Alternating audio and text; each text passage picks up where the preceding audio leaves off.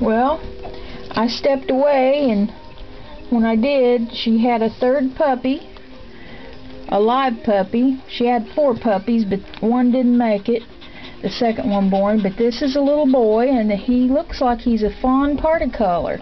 And he was just born at 7.40, not even an hour after the girl was born. So I don't know if she's going to have another one or not.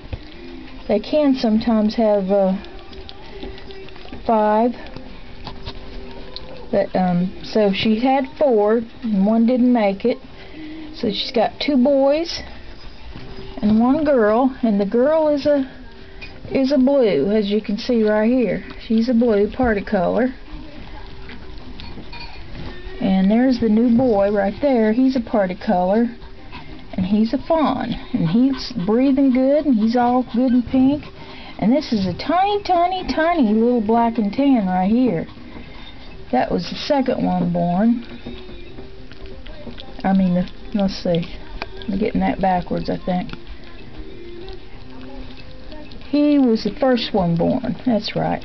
This little black and tan was the first one born. The second one born didn't make it. And the third one was a, a blue and particolor, the little girl. The big, she's actually the biggest. But I have seen them change positions. Uh, sometimes the smallest will turn out to be the biggest when they get through started growing. We can't see them, Mama. I just want to see them just for a minute. They're so gorgeous. Two particolors and one black and tan with a little bit of white on him. That's a pretty, pretty bunch. They all look, three look different. One's black and tan, one's blue and tan and particolor, and one's a fawn and particolor. Look, new little boy that's just born, right this one, right here. They're cute.